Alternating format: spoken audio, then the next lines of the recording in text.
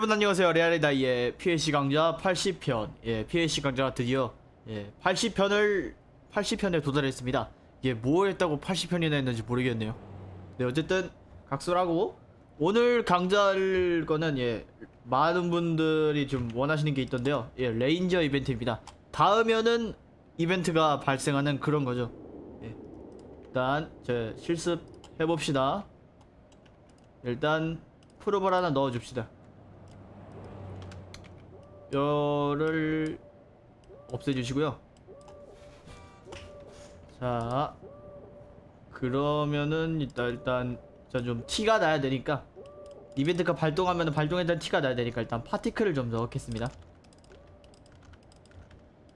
이렇게 아무 좀 particle을 좀 설정해 주시고 아 이거 너무 크다. 그래 이 정도 이 정도. 이 정도 이 정도로 해주시고요. 자 이제 이벤트를 추가 이제 이, 이벤트를 추가해서요. 네. 다음에 어디 있지? 아 그냥 검색창 밑에 검색창 있는데 그냥 편하게 그냥 레인저 이렇게 입력하시면은 ranger가 나옵니다.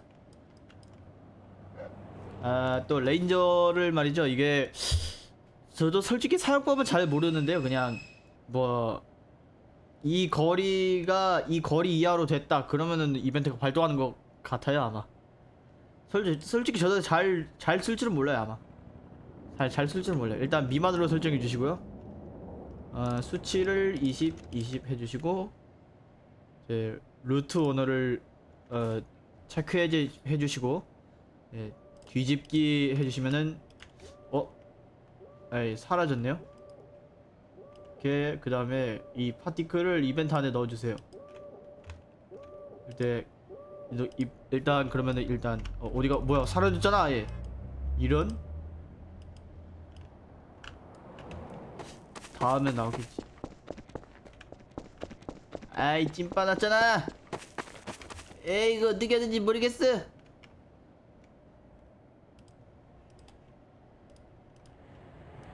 아 모르겠다. 그냥 불러와야겠다. 예, 여러분 죄송합니다. 어딨지? 어딨더라? 어... 아 여깄다.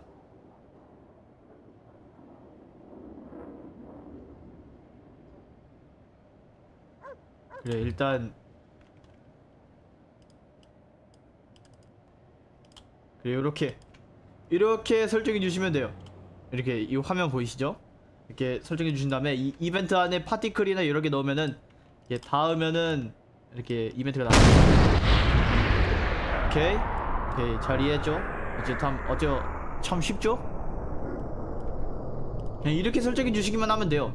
때에 따라서 좀 거리를 조절해 주시면 되고요. 예. 알려드릴 건 여기까지네요 이거를 이용해서 예, 제가 만든 나루토 육도선인 모드의 그 다선 수리검이나 그 미수옥 같은 거 이런 걸 만들 수 있어요 미수옥 따! 아 뭐야 왜 이리 느려 아 이거 왜 이리 느리냐